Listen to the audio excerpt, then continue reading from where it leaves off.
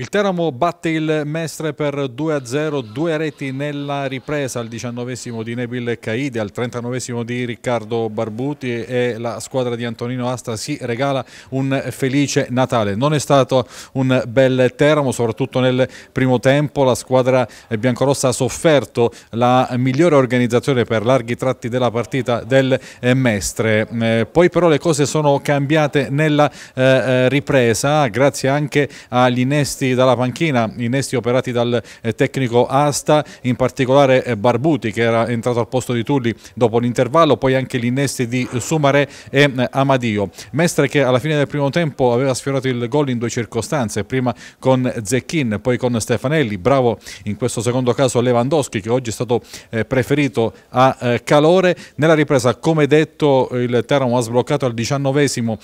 con un'azione da calcio d'angolo ehm, con Bacio Terracino che ha pennellato in mezzo, eh, sponda di Barbuti e correzione sul secondo palo di eh, Caidi. Il Teramo ha sofferto per un tratto, poi l'innesto di Amadio ha riportato maggiore ordine a centrocampo e eh, con una classificazione di rimessa ispirata da eh, Sumarè, complice anche un errore del difensore del Mestre Boffelli. Ehm, Sumarè ha offerto il pallone a De Grazia poi complice un rimpallo. Barbuti ha finalizzato eh, l'azione e dunque il Teramo ha vinto